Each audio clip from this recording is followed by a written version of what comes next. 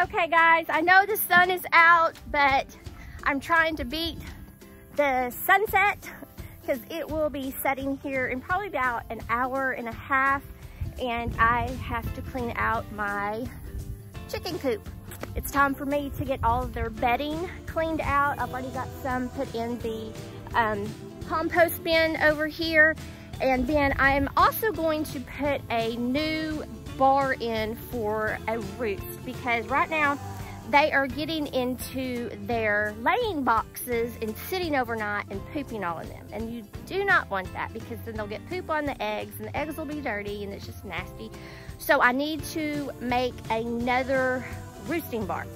So watch me clean up this nasty coop and put some more bedding down and get a new roosting bar in. Okay, so I'm in the chicken coop and I look really bad because I am super, super hot because it is very humid today and very hot for it to be, um, I think it might be the 8th of October. Whew, hotness. So I'm going to just put this on fast mode and let y'all watch me clean out the chicken coop.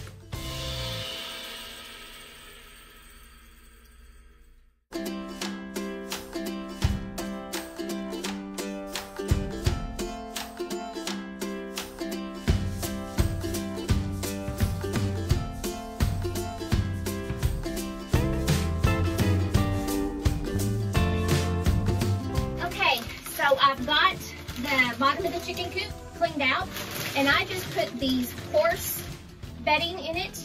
It is a larger cut of wood so that there's not small particles that can get in the nostrils of the chickens because it's very easy for them to get respiratory infections and their nasal passages clogged um, with small particles, even gnats can get in their nose, in their nasal passages and um, make them have a lot of respiratory issues.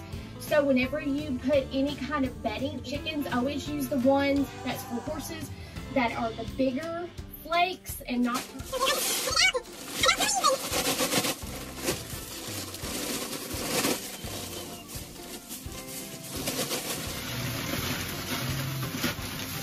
I do want to say one thing when you do have these stored somewhere um, like I have them stored in my greenhouse, but if you have them stored where somewhere, be very careful when you start sticking your hands in them because especially with the temperatures at night going down, snakes have a tendency to get up in your bags and you don't want to get bit by a snake. So be very careful with that.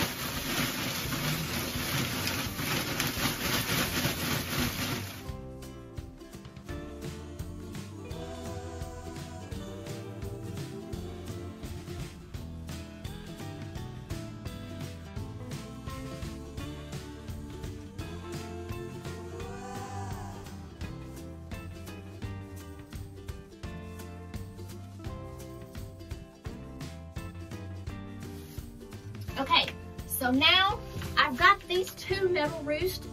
Sorry, I'm gonna cough.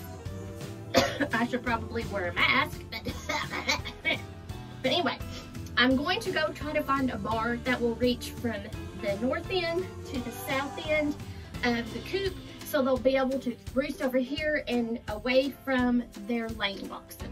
So let me go try to find a pole. Okay, so I so far I haven't found a long one, but I did find a short one that will go in the center here. That will at least give two more chickens a spot to be here and away from their laying boxes. So let me continue on. Okay, I found a pole. It is just going to anchor right here in the corner and I will get some wire and wire it in. And then it goes all the way down to the other side. So we're gonna have two more bars in the middle, plus another bar out to the edge. And this is gonna give them a little more room to, um, to nest. I might change it just a little bit. You know what? I think I might go like this and put that there. Let's just figure this out for a second. Well, give me a minute. To give me some more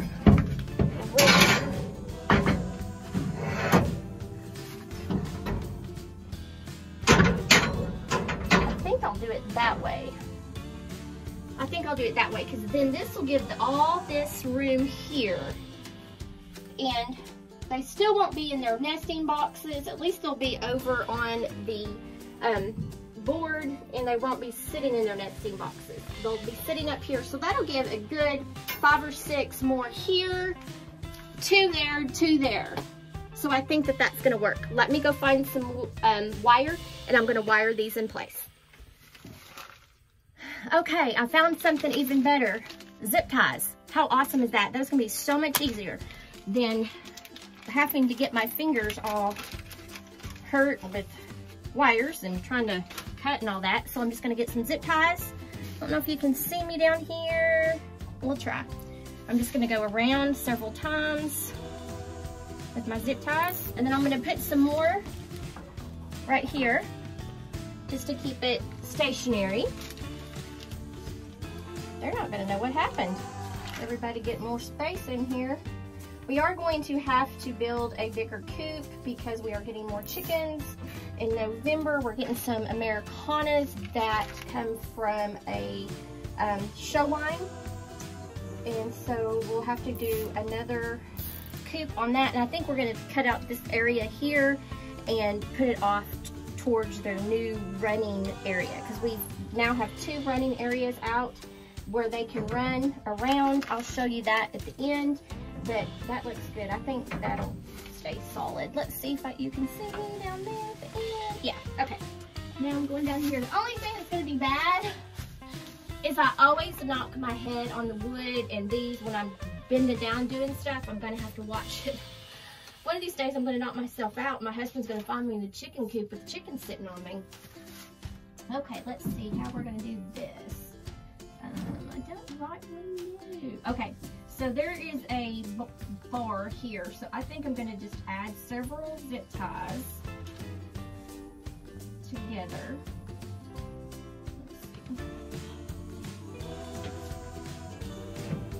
Now that's just gonna give it some extra stability here so it won't fall off. We got it good and tight there. Let me get over here and get some zip ties on that while I'm wiping sweat off my face. Welcome to Arkansas and the humidity.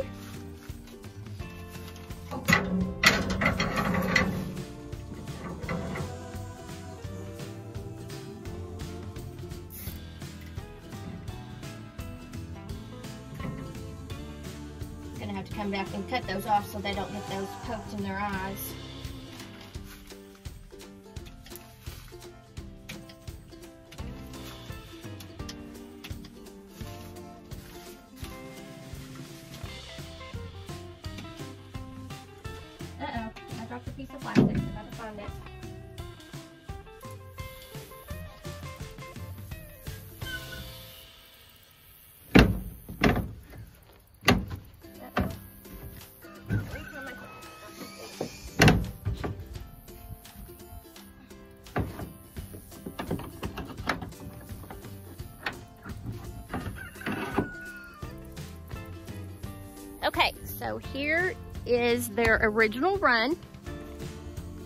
right here.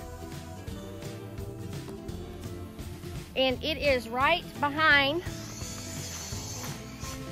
the raised garden, which I still have my basil out for the bees, because they're still here. But this is their original run, and they were flying out, so we went ahead and put a second roll of chicken wire on. I said, that's not gonna work. Husband's like, yeah, yeah, yeah, that'll work. I said, no, we're gonna have to get in the coop and cut their, their wings, which is just like clipping your fingernails. You just don't go too high. And when he was putting this last zip tie on, four of my leghorns flew out. so I said, mm, that didn't work very well, did it?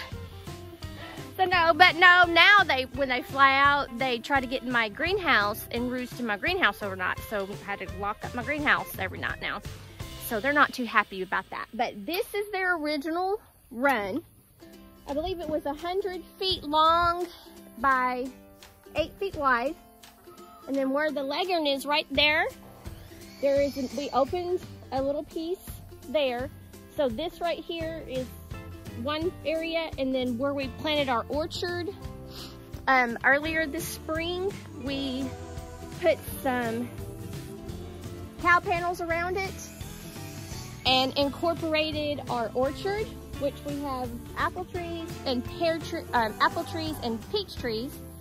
And um, this is another one, and I think it's 16 feet wide, and it's more like maybe 150 feet long because it goes all the way to the end of my greenhouse. So we've got it all the way down. We also do have a way to open the end down there so we can get in here with the tractor because we do get the old hay from where we feed our cattle and we put it in this one. And so when we want to move that into the old route um, run, we'll be able to come in here get the old hay that we've let them scatter around and rummage through. We'll move that to the old run and then they're composting that. And then when we're done with that, we put it over in the compost pile so that we'll have all of that for our garden in the spring. So this is the compost pile. As you can see, I've just put all of the um, shavings in it that were from the chicken coop and we'll leave that there. But guys, thank you for joining me today with the chores for the chickens and the sweaty face and smeared mascara. And you can hear my husband, he's working on a project for me in the back, helping me out with some pumpkin projects. And um, if you like this video, comment below, give me a thumbs up and share. When you share and comment and um, subscribe. That helps get my videos out to more people and that really helps my YouTube channel grow. And I thank you so much for that. And guys, make what you have beautiful and we'll see you next time.